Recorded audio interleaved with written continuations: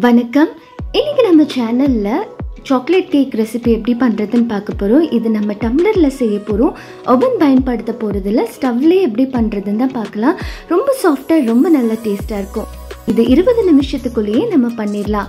Welcome you all to perfect plate channel இது செய்கிறதுக்கு இதில் முக்கால் கப் பவுடர் பண்ண சுகர் எடுத்திருக்கேன்.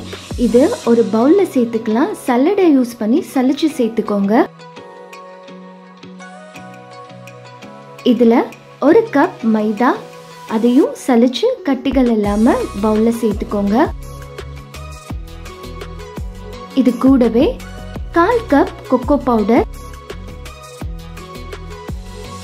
ஒரு டீஸ்பூன் பேக்கிங் பவுடர் அரை டீஸ்பூன் பேக்கிங் சோடா இதையுமே சலிச்சு நம்ம பவுலில் சேர்த்துக்கலாம்.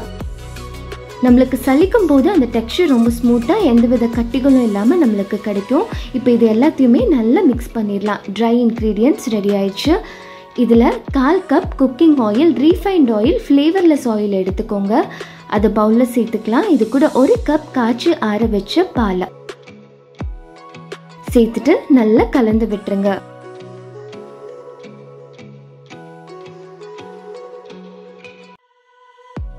இதில் இப்போ ஒரு டீஸ்பூன் வெனிலா எசன்ஸ் ஒரு டீஸ்பூன் வினிகர் சேர்த்துக்கலாம். வினிகருக்கு பதிலாக நீங்கள் லெமன் ஜூஸ் கூட நீங்கள் பயன்படுத்திக்கலாம்.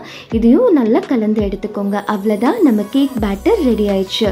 இதில் டம்ளரில் சேர்த்துட்டு நம்ம பேக் பண்ணி எடுக்க போகிறோம் நாலு டம்ளர்ஸ் கிட்ட எடுத்துக்கோங்க. இதில் எண்ணெய் வச்சு நல்லா க்ரீஸ் பண்ணிக்கோங்க. டம்ளர்ஸையும் மேலே வரைக்கும் நல்லா எண்ணெய் தடவி எடுத்துக்கோங்க. இப்போ இதில் நம்ம கேக் மிக்சரை சேர்த்துக்கலாம். கேக் மிக்சர் இதில் சேர்த்துக்கும் போது முக்கால் அளவு கிட்ட சேர்த்துக்கோங்க. அப்போ பேக் ஆகி வரும்போது மேலே சிந்தாமல் இருக்கும்.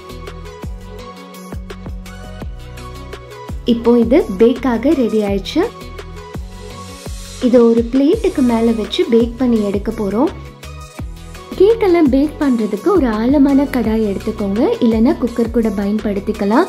இதில் ஒரு ஸ்டாண்ட் வச்சுட்டு மூடி வச்சு மூடி ஒரு அஞ்சு நிமிஷம் மீடியம் ஃப்ளேமில் ப்ரீ ஹீட் பண்ணிடலாம்.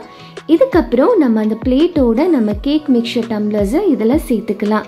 சேர்த்துட்டு மூடி வச்சுட்டு ஒரு பதினஞ்சு நிமிஷம் மீடியம் ஃப்ளேமில் பேக் பண்ணி எடுத்துருங்க. குக்கரில் நீங்கள் பயன்படுத்தும் போது விசிலோ இல்லை கேஸ்கெட்டோ சேர்க்க தேவையில்ல. பாருங்கள் ரொம்ப அழகாக பேக் ஆயிருக்கு. ஃப்ளேமை சுவிட்ச் ஆஃப் பண்ணிவிட்டு இதை ஆற விட்டுறலாம்.